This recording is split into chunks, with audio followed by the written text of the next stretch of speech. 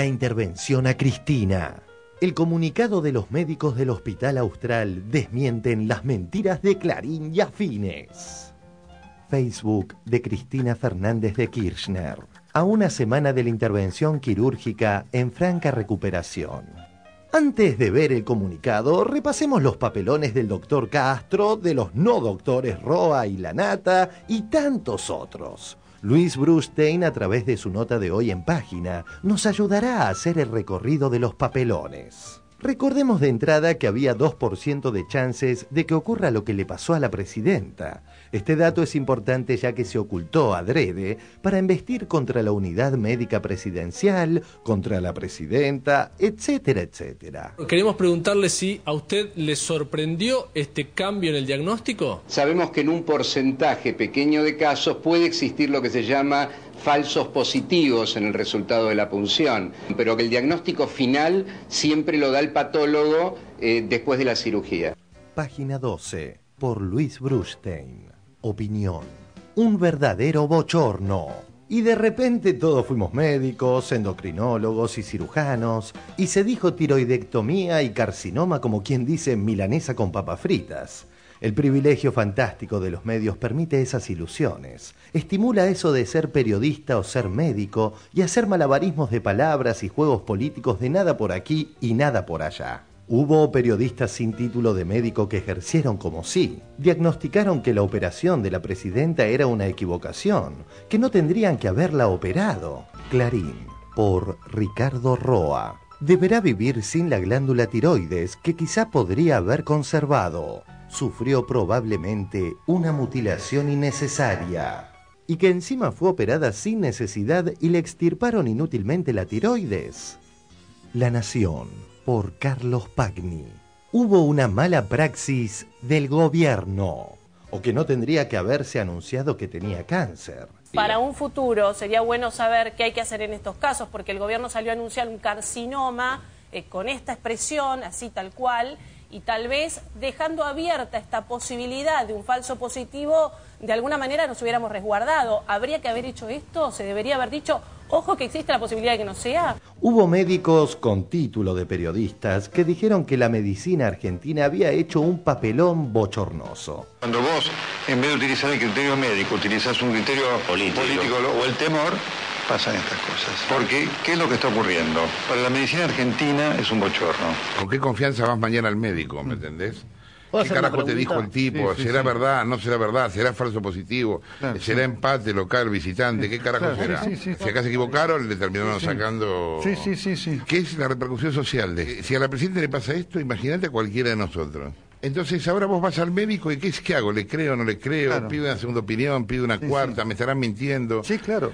El bochorno lo hace un médico que no sabe que estos diagnósticos con ese margen del 2% de dudas son normales. Yo he contado con todo detalle y creo que debo ser uno de los pocos que tiene el detalle de lo que pasó. Yo sé lo que pasó en ese quirófano. Yo sé lo que pasó en ese quirófano. Yo sé lo que pasó en ese quirófano. sabemos... A lo mejor hubiera valido la pena tomarse un momento más para ir con un diagnóstico mucho más certero, fundamentalmente para la paciente. Por supuesto, muchas veces ante la duda al paciente eh, no se le da mucho detalle. Pero aquí estamos hablando de la presidenta de la República. El bochorno de un médico es no saber que un médico nunca le dirá al paciente que no tiene cáncer solamente por ese 2% de duda. Festejará después con el paciente si está dentro de ese 2% que elude el diagnóstico. Si esto sucede con una paciente de tanta importancia como es la Presidenta de la Nación, ¿qué puede suceder con un paciente en un hospital público? ¿Qué puede suceder con un paciente en un hospital público? Porque esto que está generando, Gonzalo, y esto es lo que está pasando hoy en los hospitales, Hoy mucha gente que tiene que hacerse biopsia está dudando y este también es un efecto colateral. Hoy mucha gente que tiene que hacerse biopsia está dudando y este también es un efecto colateral.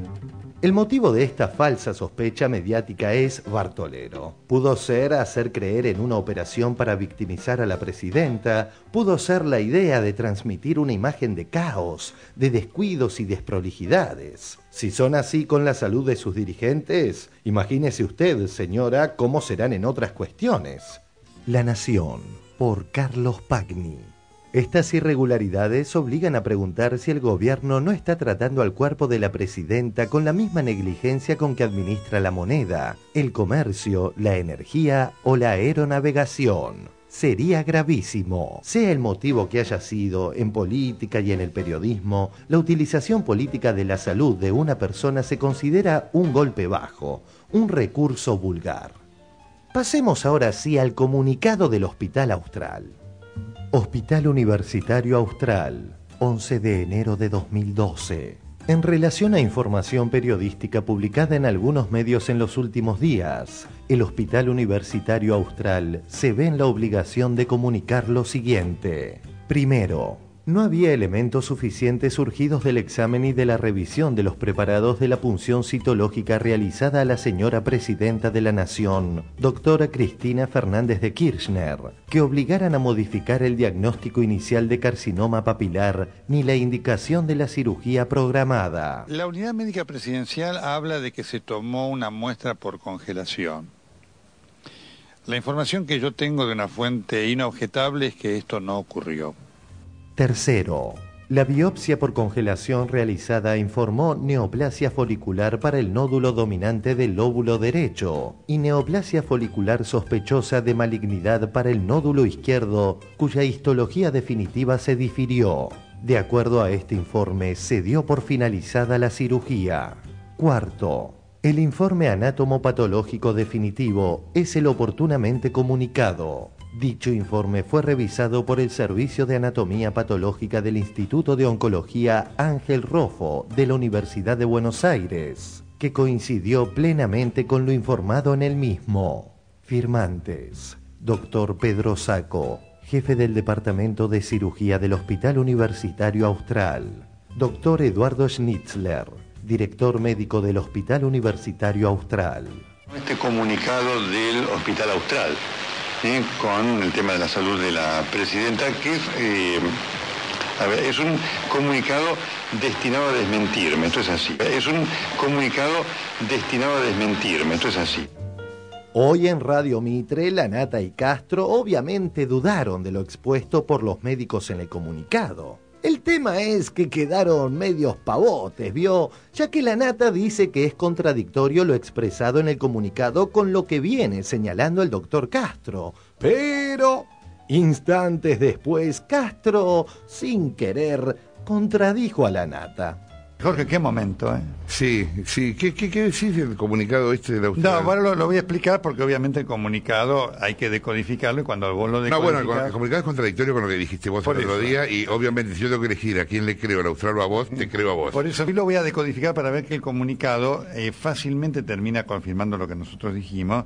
Bueno, el, comunicado es contradictorio con lo que dijiste vos el otro día. Yo lo voy a decodificar para ver que el comunicado eh, fácilmente termina confirmando lo que nosotros dijimos, y en esa misma charla Castro la vuelve a embarrar. Recordemos que días atrás escribió una nota en el diario La Nación cuestionando que no se haya consultado a otros especialistas. El mismo diario en su tapa lo había desmentido. Hoy volvió a insistir con el mismo argumento. ¿Qué es lo que debió hacerse en un paciente? Mira, vamos a tomar a la presidenta otra nueva muestra, porque lo haríamos en cualquier paciente. La Nación una muestra cuatro patólogos. El doctor Jorge Carrascosa, director de Diagnóstico Maipú, donde se le hizo la punción tiroidea a Cristina Kirchner, reveló ayer a la Nación que después de los análisis de dos de los patólogos del centro que hablaban de un tumor maligno, se les pidió a otros dos especialistas de la institución que repitieran el estudio, sin decirles a qué paciente pertenecía la muestra. Vamos a tomar a la presidenta otra nueva muestra porque lo haríamos en cualquier paciente. Se les pidió a otros dos especialistas de la institución que repitieran el estudio. Vamos a tomar a la presidenta otra nueva muestra, porque lo haríamos en cualquier paciente.